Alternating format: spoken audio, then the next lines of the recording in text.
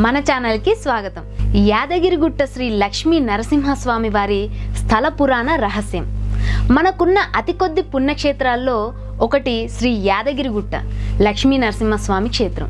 ఈ క్షేత్రం తెలంగాణ రాష్ట్రంలో గల ఉమ్మడి నల్గొండ జిల్లాలో ఉండేది. ప్రస్తుతం ఈ ప్రాంతం యాదాద్రి భువనగిరి జిల్లాగా మార్పు చెందింది. ఇది హైదరాబాద్ నుంచి సుమారు యాభై ఐదు కిలోమీటర్ల దూరంలో కలదు.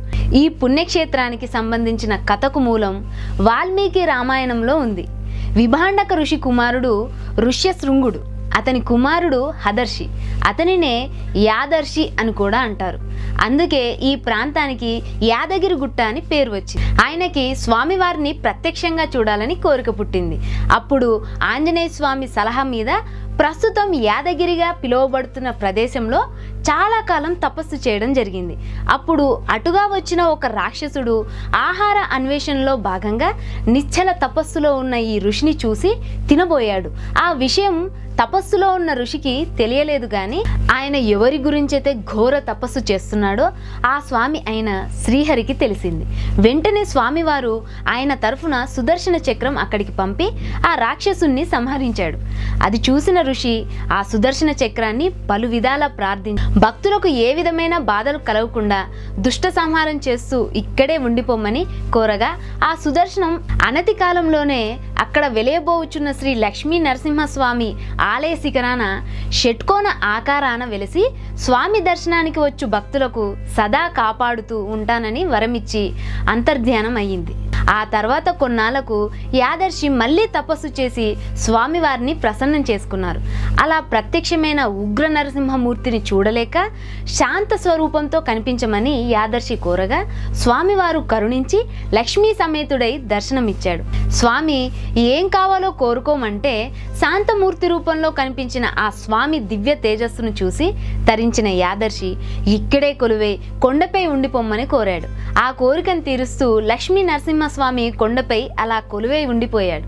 కొన్నాళ్ళకు స్వామివారిని వేర్వేరు రూపాల్లో చూడాలనిపించి యాదర్శికి మరలా తపస్సు చేశాడు.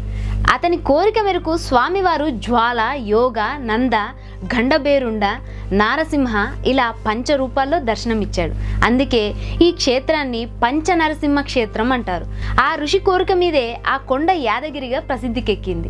ఆ ఋషి తపస్సు చేసింది స్వామివారు ప్రత్యక్షమైంది కొండ క్రింద ఉన్న పాతాలక్ష్మి నరసింహస్వామి గుడి దగ్గర. కావున యాదమహర్షి కోరిక మీదే ఆంజనేయ స్వామి యాదగిరిలో క్షేత్రపాలకుడుగా నిలిచాడు.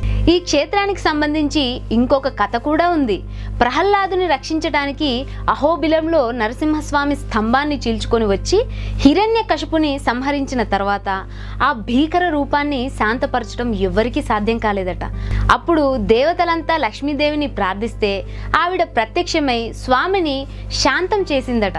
అప్పుడు ప్రహ్లాదుడు స్వామిని అక్కడే ప్రసన్న రూపంలో కొలువై ఉండమని కోరాడట.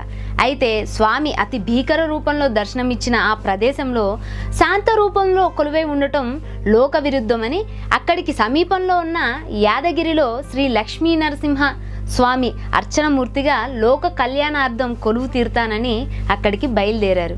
లక్ష్మీ సమేతుడై స్వామివారు ఆ కొండపై గల గుహలో వెలియటం జరిగింది.